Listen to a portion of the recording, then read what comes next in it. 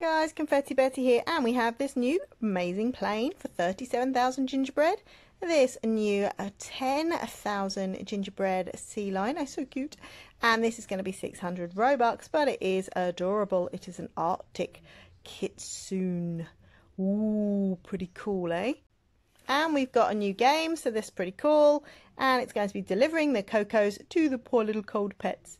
So that sounds like fun. There's also going to be a sale. So watch out, guys. Lots of stuff happening this week in Adopt Me. Confetti Betty saying bye-bye.